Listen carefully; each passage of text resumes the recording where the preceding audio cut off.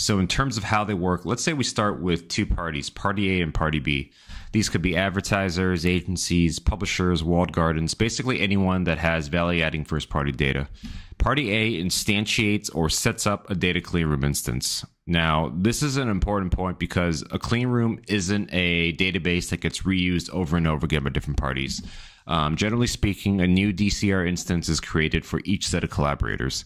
And most clean rooms can support more than two parties, but to keep things straightforward, we'll stick to just two parties for the examples in this presentation. So once a clean room is set up, the first step is data ingestion. Um, this is where the collaborating parties upload the data sets that they want to use into the DCR. The data sets can be in a variety of different formats like email addresses, device IDs, and other first party identifiers. And they can come from wherever that data is stored. So CRM, uh, cloud data warehouse, um, CDPs, etc. And at this stage, the data that's uploaded is generally anonymized or pseudonymized to protect individual identities. So, as an example, um, email addresses can be hashed to obscure the original information while maintaining the ability to match records across data, data sets.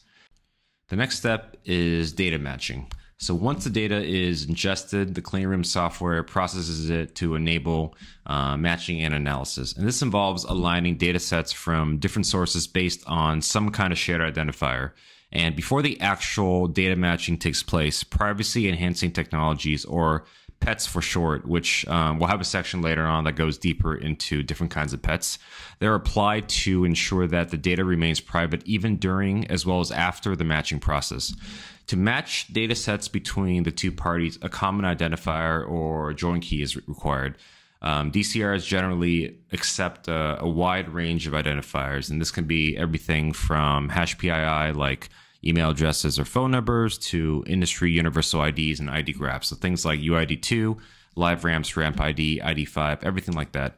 But no matter which option is chosen, pets will be used to ensure that the underlying data remains hidden and can't be reverse engineered. Um, and then from there, after data matching, the next step is data collaboration, which really refers to um, whatever the agreed upon use case between the two parties are.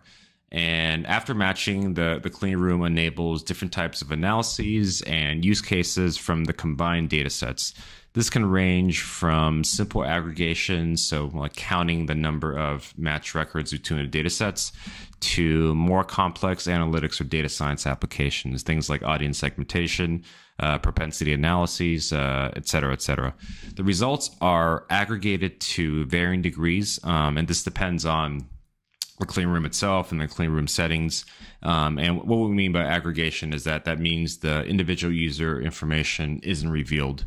And differential privacy techniques, um, which is a specific kind of pet, are applied here to add noise to the data or query results. So if you ever hear of a clean room um, injecting noise, that's an application of differential privacy, and that ensures again that the, the output doesn't compromise individual privacy.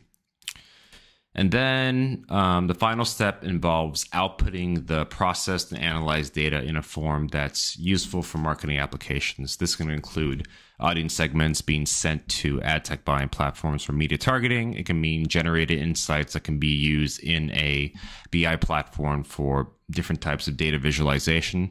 It could be uh, using the match data to build or run models against. But the key is that any data or insights that are extracted from the DCR are compliant with privacy regulations and don't reveal any PII. And oftentimes, the aggregated outputs are syndicated or sent to different platforms. And this can be either using a native in- integration the Cleanroom has with other ad tech or martech platforms, or it can be via um, API integrations. And you can see several examples um, organized uh, by use case category on the slide here. And a really important concept um, here is that the outputs that party A, again, party A is the one who set up and created the clean room. The outputs that party A sends for use are aggregations of their own data. Um, so, despite being a collaborator, data from party B is not actually combined with party A's data. Rather, what this means is that party A now has more insight into what segments of their own data can be used for their desired use case. And this might sound a little counterintuitive, but don't worry, we'll have a section where we cover that concept in more detail. So if it doesn't make sense now, don't worry, it'll make more sense later on.